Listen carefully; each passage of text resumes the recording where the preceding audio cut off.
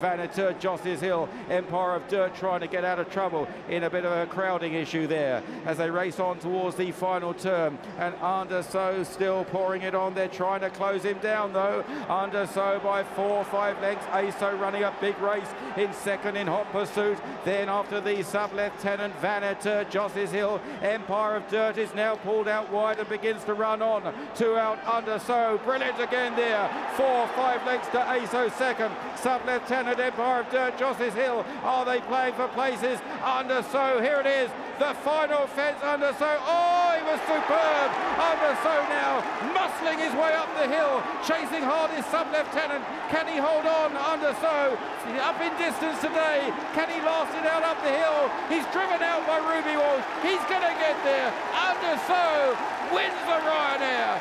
Sub-lieutenant in second, ASO third, and Empire of Dirt was fourth.